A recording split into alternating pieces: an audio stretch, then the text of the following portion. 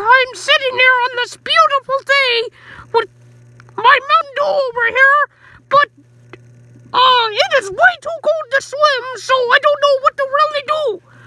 Oh, oh, well, I guess I could just chill.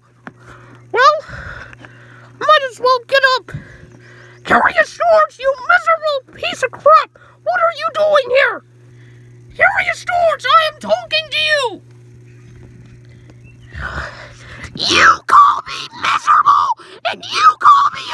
crap! You're a piece of crap, Mickey Mouse!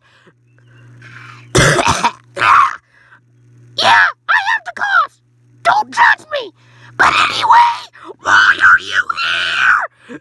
This is my house, not yours! Ho ho!